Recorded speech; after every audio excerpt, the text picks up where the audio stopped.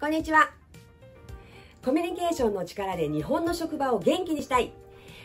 研修トレーナーの岩村よしえです。このチャンネルではコミュニケーション力を上げて仕事力をアップさせたいという方に役立つ情報をお届けしております。もしよかったらチャンネル登録やいいねボタンよろしくお願いいたします。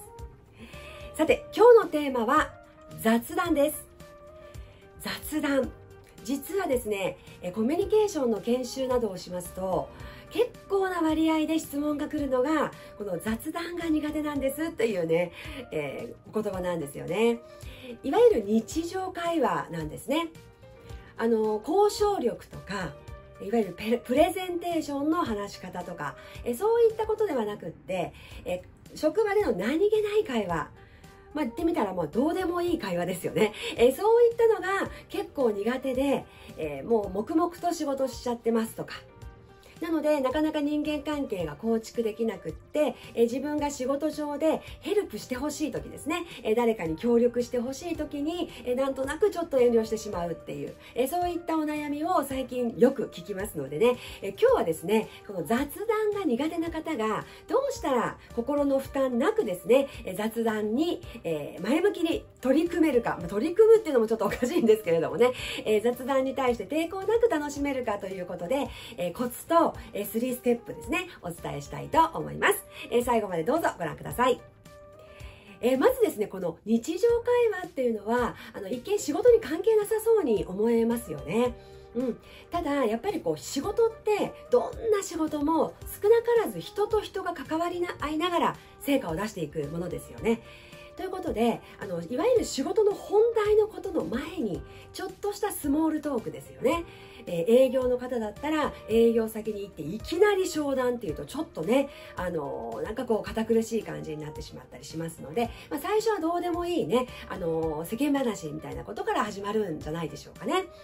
あとはこう職場もね隣のデスクの人と普段なんとなくこうちょっと休憩の時お茶飲みながら、ね、最近どうですか？みたいな話をしてなんとなくこう気持ちが打ち解けていって。だからこそちょっとね自分が困ってる時に助けてもらったりとかねすいませんちょっとお願いしていいですか？みたいな形で言えるわけなんですね。うん。あの私自身もあのその昔子供が小さな頃にですね、えー、派遣社員としてある企業さんに事務員としてお世話になってた時期がありました。3ヶ月契約で働いてたんですね。であの朝8時出勤というとても早い職場だったんですけれどもあのそこの職場でねあの頑張ってたんです。でそこのマネージャーの男性がものすごくこの雑談が上手というかねあの雑談をすごくしてくださる方だったんですけれどもこれがね決して長話じゃないんですよね。もう本当に短い20秒ぐらいの会話をちょこちょこ入れてくださる方でした。今でも覚えてるのがあのいわゆるこの仕事してる最中にね話しかけてくることはないんですけれども例えばオフィスでシュレッダーの順番を待ってる時とかあのコピー機が並んでてちょっと待ってる時って手持ち無沙汰じゃないですか。ああいう時にですねなんか通りがかってスッと声をかけてくださるんですよね。岩村さんどうですか？仕事慣れましたか？なんて言ってね。あ慣れてきました。ありがとうございますって言ってね。無理しないで1個ずつでいいですよ。なんておっしゃるわけですよね。じゃあね。なんて言って。もう本当に5秒10秒の会話でさっと去っていくんです。である時なんかは、ね、あ、岩村さん今度週末お子さん運動会ですよねなんておっしゃるんですね。あ、そうなんですって言うと、あ、岩村さんもなんか出るんですかあ、玉入れに出る予定です。あ、玉入れですか？頑張ってねと言って去っていくみたいなね。うん、こういった仕事と全く関係ないどうでもいい会話なんですけどそれをちょこちょことね入れてくださったおかげで私はその当時ね子供が朝学校に行きたくないってこうもう吸ったもんだってね何度か遅刻をね続か続けてしまったことがありましてその時もねああもうちょっと次の契約は更新できないかななんて思ったんですがそんな雑談をしてくださった上司のおかげでその上司にちょっとお時間いただけますか？っていうふうにね思い切って相談することができました。でそのね子供の状況を相談したらその上司の方が「ね、今村さんそういうことだったらじゃあちょっと当面ねお子さんが落ち落ち着くまでは朝1時間出勤時間を遅らせてくれていいよ」なんていうふうに提案をしてくださったんです。そのおかげでねなんとか、えー、契約を更新して、えー、満了まで働くことができたという、ね、そういう経験があります、え、なのでやっぱりですねどんなに仕事ができて敏腕な上司の方でもね、どんなにハイパフォーマーな方でもやっぱりこのどうでもいい雑談を気持ちよくできるっていうのはこれ一つ仕事力のねとても大きな部分になるかなと思っています。はい。ということでね、えー、雑談なんですけども、えー、まず大前提というところをお話ししたいと思います。はい。私もね、仕事柄いろんな方にお会いするんですけれども、あ、この方雑談上手だなと思う方って特徴があります。どんな特徴かというと、相手を主役にするんですよね話の主役は相手っていうのを徹底してらっしゃるんですよであの自分がものすごく面白い話を持ってるとかねどうしても言いたいことがある時はもちろん全然問題ないと思うんですけれどもいつもいつもねあの相手が喜ぶような話題を自分が提供できるとは限らないじゃないですか、うん、でもそれってね別にねいいんです。相手が主役だから。自分がね主役になろうとするとちょっとハードル高いんですよね。うん、でもそうじゃなくって話の内容を常にね相手を真ん中に持ってきてもらって相手の話を一生懸命聞くっていうスタンスがまず大前提としてあるとちょっとハードルが下がりませんか？ね、うん、なのであの全然そんな気の利いたトピックとかねなくていいと思います。はい、相手のことを知りたいなという素直な、えー、興味素直な関心それをまず大前提としてちょっとねあの持ってていただきたいなということは思います。はい。じゃあこの大前提を、えー、持ってですね、えー、今から雑談上手になる3ステップご紹介したいと思います。はい。3ステップはですね、相づちと要約と質問です。この3ステップ。相づち、要約、質問なんですね。じゃあまず1つ目の相づちからお話ししたいと思います。え人が話をした時にね、あの、皆さんどんな風に相づち打ってますか？うん。例えばねそうですね。あの先日大阪に旅行に行ってきたんだよねって言われた時にあへえそうなんですね。かんって感じになりますよね。これだと終わるんですね。へえそうなんですか。いいですね。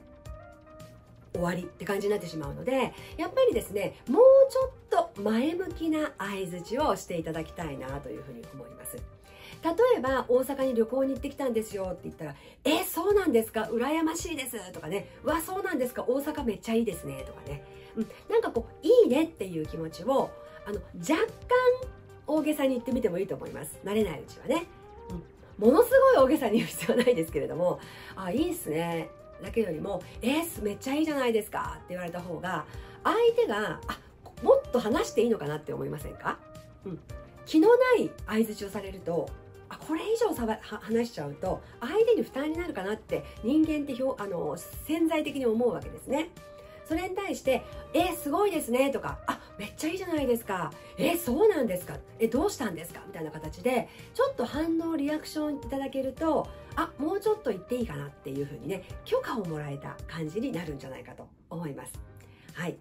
であの私のね周りにたくさんそういう相づち上手の方っていらっしゃるんですけどもう中でもピカイチ最高に雑談上手で相づち上手だなと思う人がいるんです。それは実は義理の母なんですけれども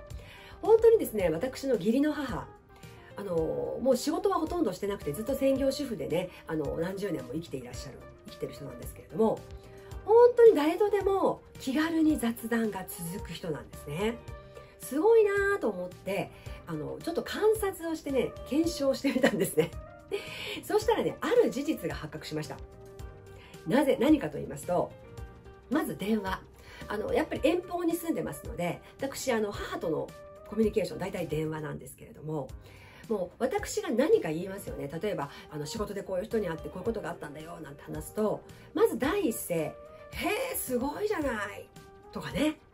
えー、そうなのすごいね。よかったね」みたいな形で前向きになんかこうリアクションくださる。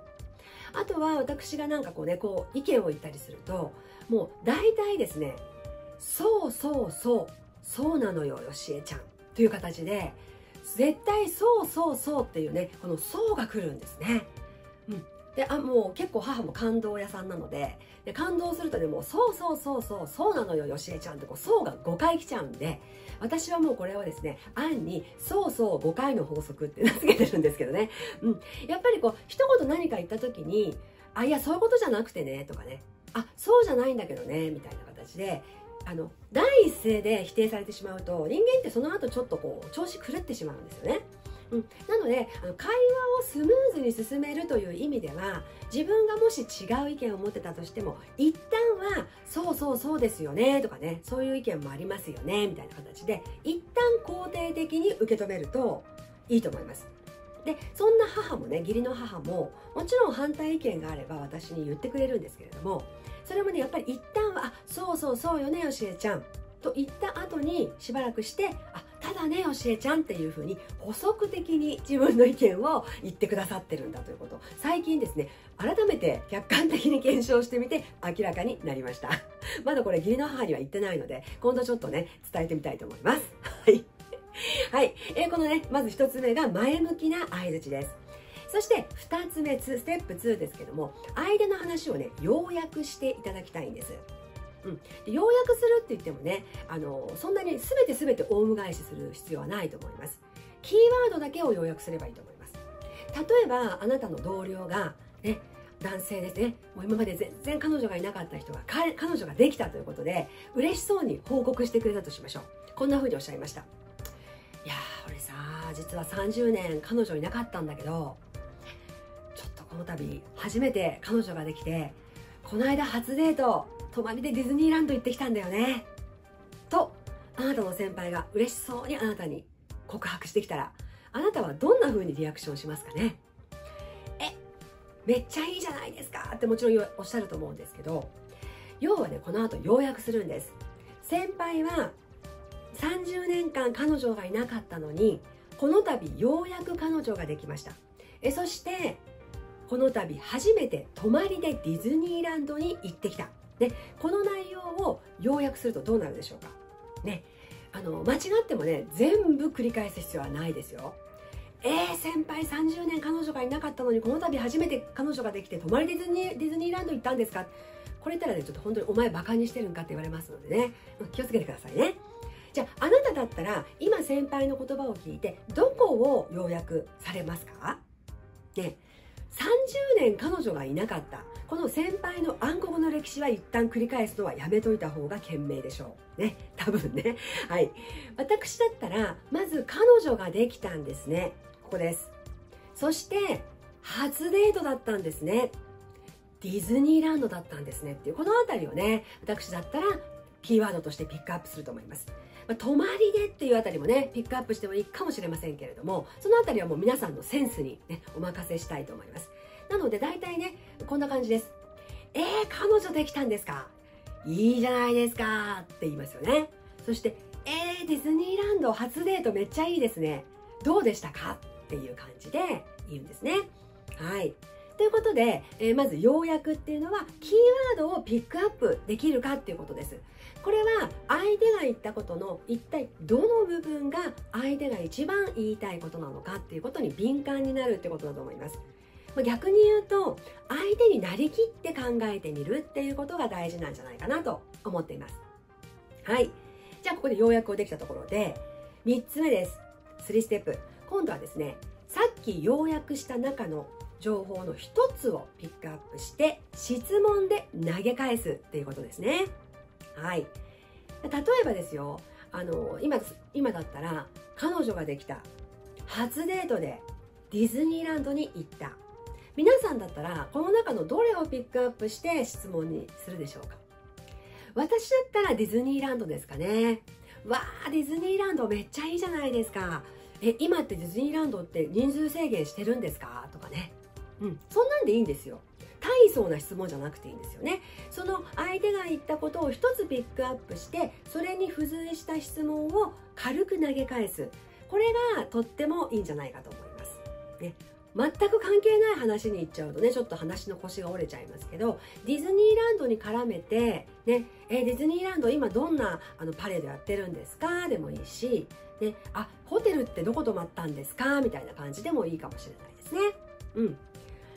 あとはこうね、ディズニーランドとシー両方行ったんですか？とかね、そんなんでもいいと思います。はい。ということで、えー、今日はですね、えー、雑談を軽くね、楽しめる3つのステップをお伝えしました。1つ目は前向きな相づち2つ目はキーワードを要約。そして3つ目がその中の1つの情報をピックアップして質問で投げ返す。はいやってみてください。えそれではですね、えこの動画が良かったなと思ってくださった方はぜひいいねボタンやチャンネル登録お願いします。大変励みになりますのでよろしくお願いします。えこのチャンネルではこれからも仕事に役立つ情報をたくさんお伝えしていきたいと思います。最後までご視聴いただきありがとうございました。株式会社リフチーフインストラクターの岩村よしえでした。